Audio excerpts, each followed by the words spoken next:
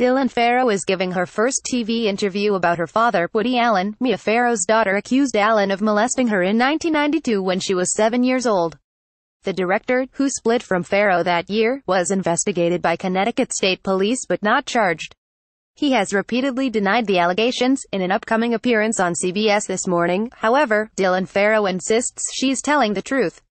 I am credible, and I am telling the truth, and I think it's important that people realize that one victim, one accuser, matters, and that they are enough to change things, she says in a preview for the interview, which will air on Thursday, January 18th, at 7 a.m. E.T. P.T. Farrow's statements about her father have caused several prominent actors, including, and to publicly express their regret over working with him. Hall and Chalamet recently announced they would be donating their salaries from working with him to organizations like Time's Up in a series of tweets on Tuesday. However, Alec Baldwin spoke up in defense of Allen, insisting that Hollywood actors turning their back on him is unfair and sad. Woody Allen was investigated forensically by two states NY and CT and no charges were filed. The renunciation of him and his work, no doubt, has some purpose. But it's unfair and sad to me, Baldwin wrote.